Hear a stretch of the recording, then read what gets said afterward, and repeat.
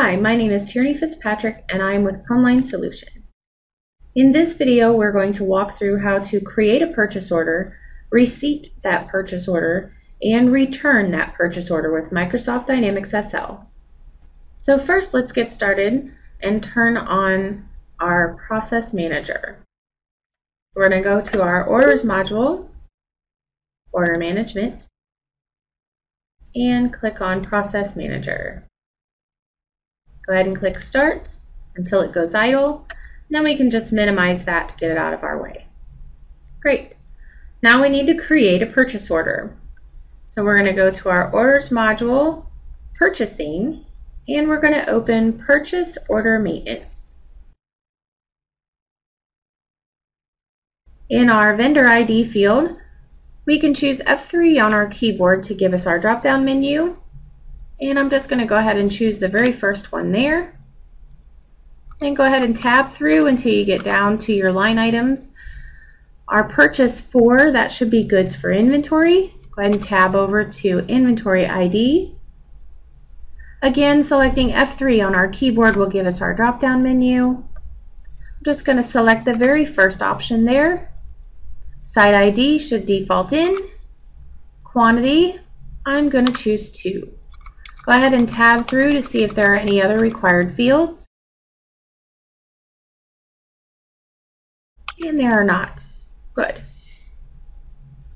Click Save.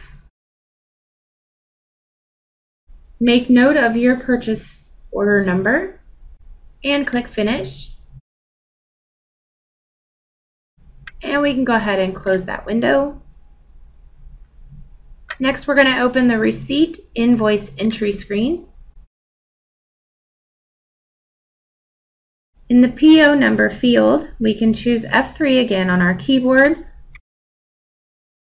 And we're going to go ahead and choose that purchase order that we just created and click OK.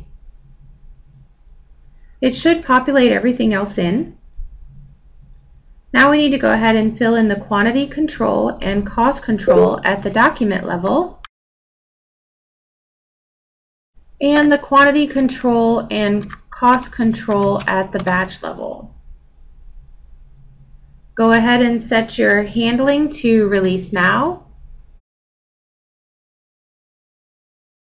and save. Make note of your batch number and finish. The insert level, we're going to choose batch and click OK. Once that has processed completely, click OK.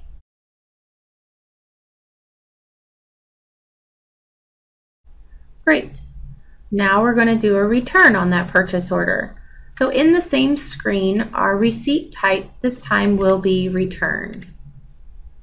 In the PO number field, we can select F3 on our keyboard to show us our options. Again, you'll see the purchase order that we had just receipted in and click OK. Next, we're going to go down to the PO line. Again, choose F3 on your keyboard to give you your options.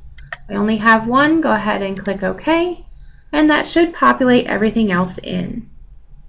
Please make note that a return can only be done against a receipt that has already been processed and released, and you can only return the quantity of what was receipted or less. So now we're going to go ahead and fill in the quantity control and cost control at our document level and the quantity control and cost control at our batch level. Set the handling to release now save, and finish. Again, our insert level, we want that to be batch and click OK. Once the process is completed, click OK. This concludes the demonstration on how to create a purchase order, receipt that purchase order, and return that purchase order with Microsoft Dynamics SL. I hope this video was helpful.